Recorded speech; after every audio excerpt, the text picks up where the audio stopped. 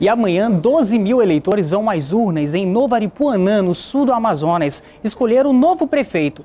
36 urnas vão ser usadas no pleito. Dois candidatos disputam o cargo: Jussione dos Santos Souza, do PSDB, e Hilton Laborda, do PMDB. A eleição suplementar vai ser realizada porque o prefeito eleito em 2016, Aminadab Meira Santana, teve o mandato cassado depois de ter sido condenado pelo TCE por não comprovar a execução de serviços contratados pela prefeitura. Como o município tem um histórico de confusões, a segurança, principalmente no porto, aeroporto da cidade, foi reforçada.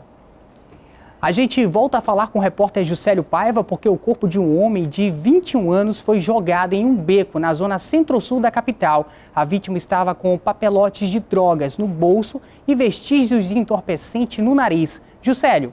Olá, Fred. Quem encontrou o corpo foram os moradores aqui da área do Aleixo, na zona centro-sul da capital, e acionaram a polícia. Os policiais vieram até esse beco, Branco e Silva, e encontraram o corpo do jovem Márcio Melo Ferreira das Neves. Agora, olha só, a suspeita da polícia é que ele tenha morrido em outro local e tenha sido jogado aqui no beco. Outra informação, Fred, é que a polícia também encontrou drogas no bolso da vítima e também no nariz do Márcio haviam vestígios também de uso de cocaína. Os policiais civis da Delegacia Especializada em Homicídios e Sequestros estiveram aqui no local e abriram um inquérito para apurar a morte. Juscelio Paiva para o Jornal em Tempo. E falta só uma semana para o desfile das escolas de samba em Manaus. E os trabalhos nos galpões continuam a todo vapor para finalizar tudo até o grande dia. O galpão é o esconderijo dos artistas, porque aqui fica uma parte de toda a magia contada na avenida.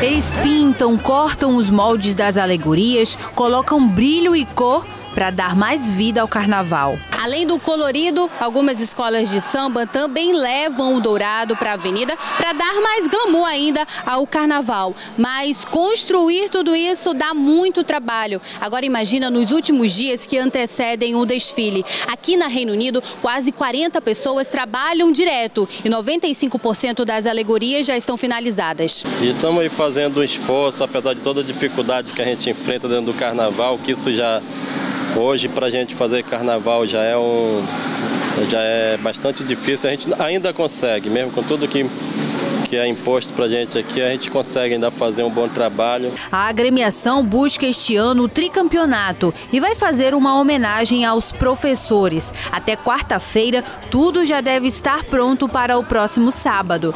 Mas eles não são os únicos que estão adiantados, assim compromisso também. A agremiação conta a história da dona Zuzu, que é a baiana mais antiga da escola. Ela viu o crescimento, o desenvolvimento de toda a cidade de Manaus, principalmente no Largo do Bolevar. E é isso que a Sem Compromisso vem contando, a história do Largo do Bolevar, a história das festas de carnaval, do Internacional, do Forte Clube, do Olímpico Clube, do Nacional. Nesta semana eles vão finalizar os últimos detalhes. Nós estamos 99% pronta todas as aulas da escola. É, fazer carnaval muito rico, muito bonito. E nós temos, viemos aí para buscar o título, vamos brigar lá com as grandes. A correria é grande, mas isso tudo tem um grande significado. É uma realização de sonhos, porque com toda a luta que a gente tem, acaba ficando muito bom no final.